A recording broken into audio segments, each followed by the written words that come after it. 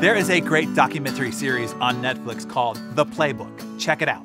The first episode is with basketball coach Doc Rivers. Doc was the head coach of the Boston Celtics when they finished 24 and 58.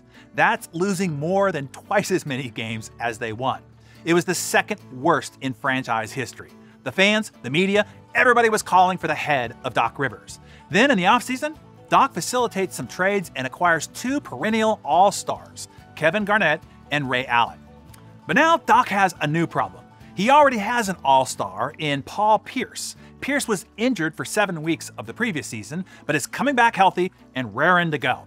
In essence, Doc has three testosterone filled all stars and big ego captains. All three want to be the de facto leader of the team, and trouble ensues almost immediately. So Doc is at a uh, non basketball event, and a woman comes up to him and says, Your team could be really great, she says, but only if they learn Ubuntu. Of course, Doc replies with what's probably in your head right now what in the world is Ubuntu? She tells Doc to look it up. It's not a word, it's a way of life, she says. Ubuntu is the philosophy that Nelson Mandela and Desmond Tutu used to bring the war torn people of South Africa back together. Its literal definition means I am because you are. It embodies all the attributes of respect, helpfulness, sharing, community, caring, trust, and unselfishness. It is the recognition that we are all bound together in ways that are invisible to the eye. As Desmond Tutu said, a solitary human being is a contradiction in terms. You have learned everything that you are from other humans. There is a oneness to humanity. We achieve ourselves by sharing of ourselves with others and caring for those around us. Ubuntu says a person is a person through other people. I can't be all I can be unless you are all you can be. The better that you are, the better I am.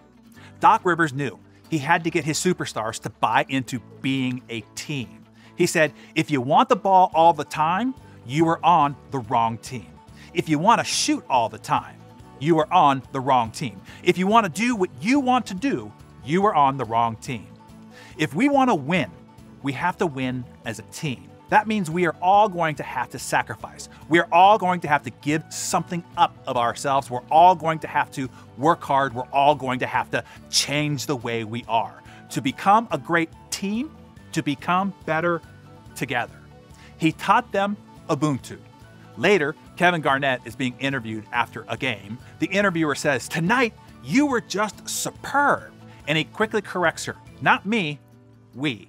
He continues with, I was only where I was supposed to be because somebody else was where they were supposed to be. We only win because we play as a team.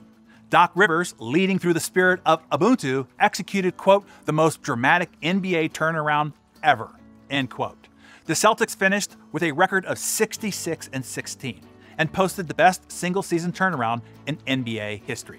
They finished first in both the Atlantic Division and the Eastern Conference and achieved the league's best record. The 66 wins were also the third most in franchise history. But now, they have to meet the top seeded champions of the Western Conference, their long standing and storied rivalry, the Los Angeles Lakers, in the NBA Finals. But this time, the Los Angeles Lakers are being led by legendary coach Phil Jackson and the eventual Hall of Fame superstar shooting guard Kobe Bryant. But through the power of Ubuntu, working together as a team, the Boston Celtics defeated Phil Jackson's and Kobe Bryant's Lakers four games to two in the 2008 NBA Championship Series. It had been 22 years since the Larry Bird era that the Boston Celtics had won a championship. Doc Rivers explained that the team lived Ubuntu. He said, if you brought something on the plane like food, you better bring food for everyone. There was no I in that team, it was always all. Do you know every genetic human being on the planet is more than 99.9% the same? Yet it seems that we focus on that one tenth of 1%, of how we are different, and how much our one tenth of 1% is better than another person's one tenth of 1%. Think of how much potential we waste by not harmonizing, leveraging and multiplying the power of that 99.9% of potential that is the same. As Desmond Tutu said, a solitary human being is a contradiction in terms. We are all part of the same species, part of the same tribe. If we had operated alone, we would have died. Rugged individualism would have made us extinct. We survived and we thrived because we banded together. And if we are going to continue to survive and thrive as a species, as a nation, as a community, as an enterprise, as a family, it will be because we come together and work together as a team, not alone, not only for our own self promotion or only our own self interest, and we will most likely perish if we only attempt to tear each other down. So remember Ubuntu I am because you are. I can't be all I can be unless you are all you can be. The better you are, the better I am. So, Darren Daily community, where do you need to imbue a bit of Ubuntu in your micro tribes? Your team at work, a sports team that you captain, a church group that you lead, a friend circle that you influence, or a family that you are responsible for at home.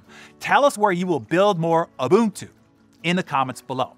As the great philosophers, the three musketeers said, all for one and one for all. United we stand, divided we fall.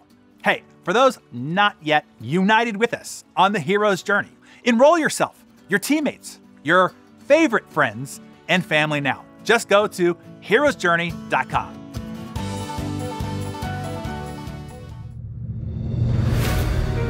Never give in. Never, never, never. In nothing, great or small, large or petty, never give in. Never give in except to convictions of honor and good sense. Never yield to force. Never yield to the overwhelming might of the enemy.